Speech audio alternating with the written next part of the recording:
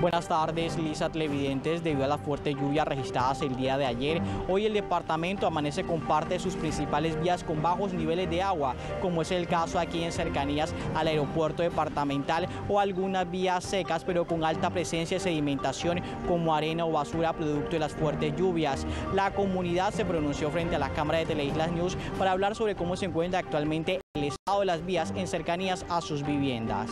Ayer que pegó el palo aguacero bien duro, las calles estaban bien inundadas y la gente no podía salir porque realmente estaban bien inundadas las calles, pero hasta el día de hoy las calles están secas. Esperemos que cuando llueva y otra vez se inunden la carretera, destapen los cantarillados para que otra vez se mantengan así secas. Comparado con la lluvia de ayer, pues está muy bien porque como, como ustedes vieron, como me imagino que todas las personas de ayer vieron, cómo estaba inundado las casas por aquí hoy al amanecer, todo bajó, gracias a Dios. Eh, realmente la lluvia fue demasiado fuerte, que sí hubo casitas que eh, se le entró el agua. Eh, casualmente esta es una vía que es nueva, al cual vemos al fondo.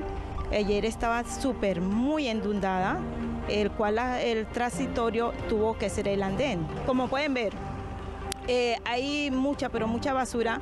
Eh, a veces eh, causa también esos tapones al cual las cantarillas se llenan. Ante la alta tasa de sedimentación en las principales vías del departamento, como lo es arena o barro, el gobierno departamental hace un llamado a toda la comunidad a transitar con extremo cuidado sobre estas vías. Esta es toda la información que se reporta de este punto de la isla. Lisa continúe con mucha más información en estudio.